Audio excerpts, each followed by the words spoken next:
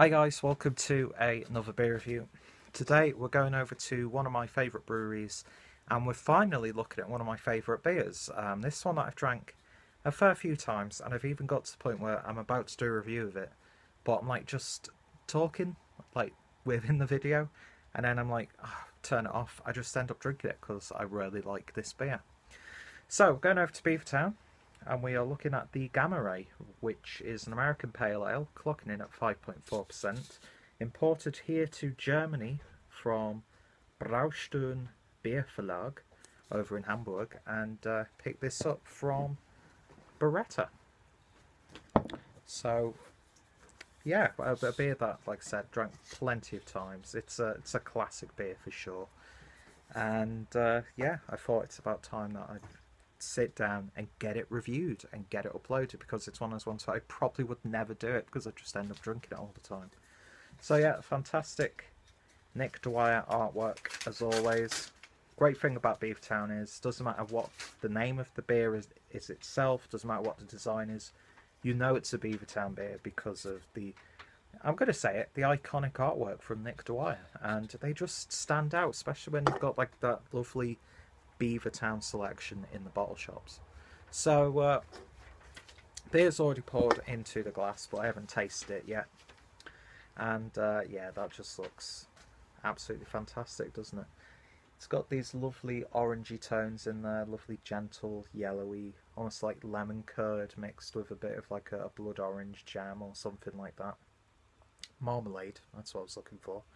I uh, got a nice amount of haze in there and uh, yeah beautiful looking beer. Nice gentle carbonation. And you can see that when I initially poured it it about two to three fingers worth of a fluffy white head. But now it's just a, a thin lining on the top of the glass.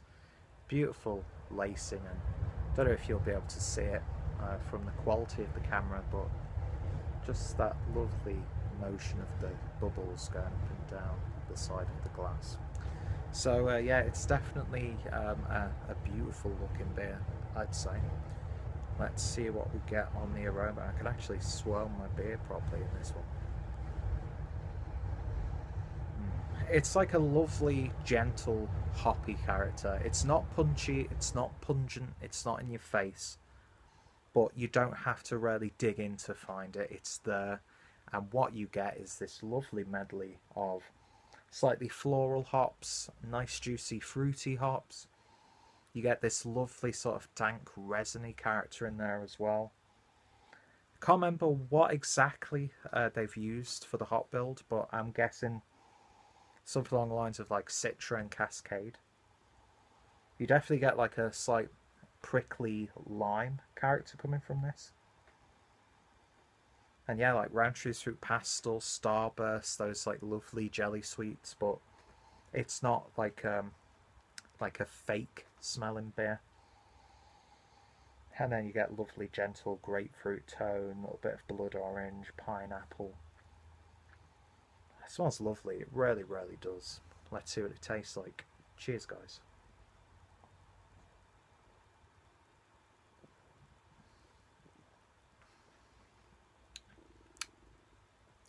That's that's it's lovely. It's it's a very solidly crafted, flavoursome American style pale ale.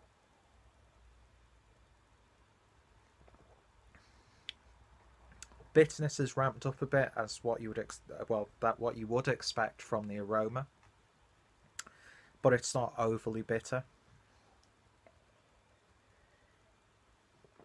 Lovely medium mouthfeel to it. That carbonation is lovely and prickly, almost like a sherbety sort of sensation on your tongue. And it's sort of like almost slightly dry, but at the same time it makes your mouth water. And you want to go in for another sip.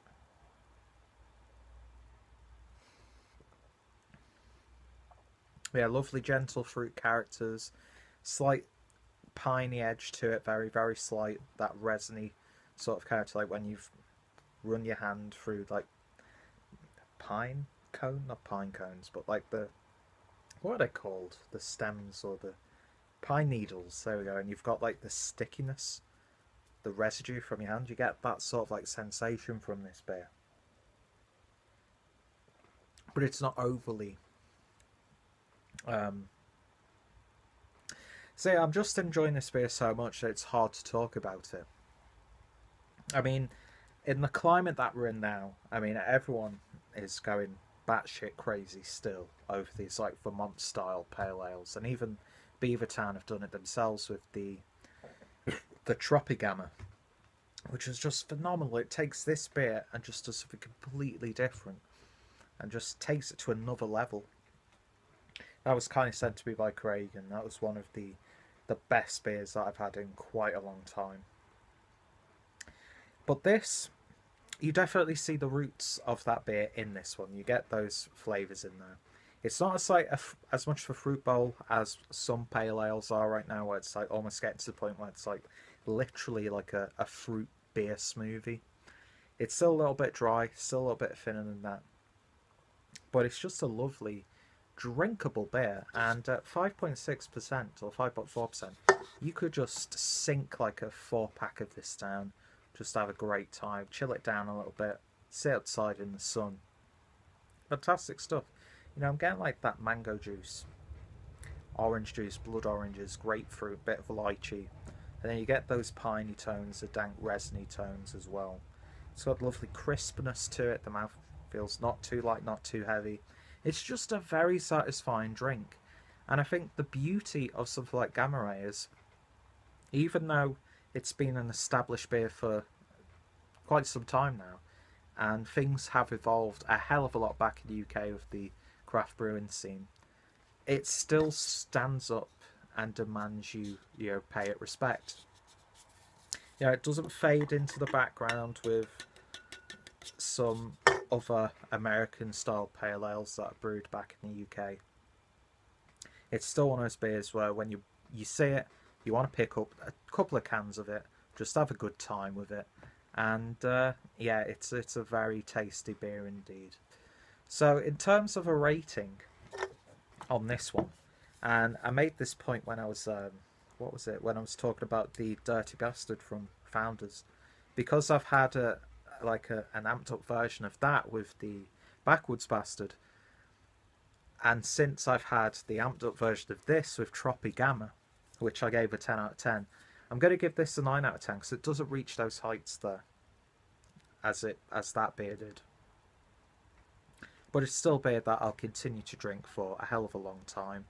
And it's one that it has the reputation because it's such a damn good beer. So it's a 9 out of 10 from me on the Beavertown Gamma Ray. Um, I'm sure you've already had this one already, but if you haven't done so already, give it a go, give it a try, check out Beavertown, they do a great job I love their whole brand. I love some of the exciting stuff they've been doing. And uh, when I'm back in the UK, I'm always like, I need to get more beers from these guys. And they're a brewery that I'll continue to go back because they just are so consistent and they put out some fantastic beers. And they've got one of the best core ranges, I feel, around in the UK. So I'm sure pretty much everyone who I watch from the UK has reviewed this, my friends of mine. So I'm going to put their reviews down below. Check out my Beavertown playlist as well. Check out Beavertown. Uh, check out my Pale Ale playlist for more. Go on over and check out Birretta, fantastic bottle shop. And uh, yeah, give me your thoughts, opinions on this beer. So, thank you guys for watching, and I shall hopefully see you later. Don't know why I put the glass back down.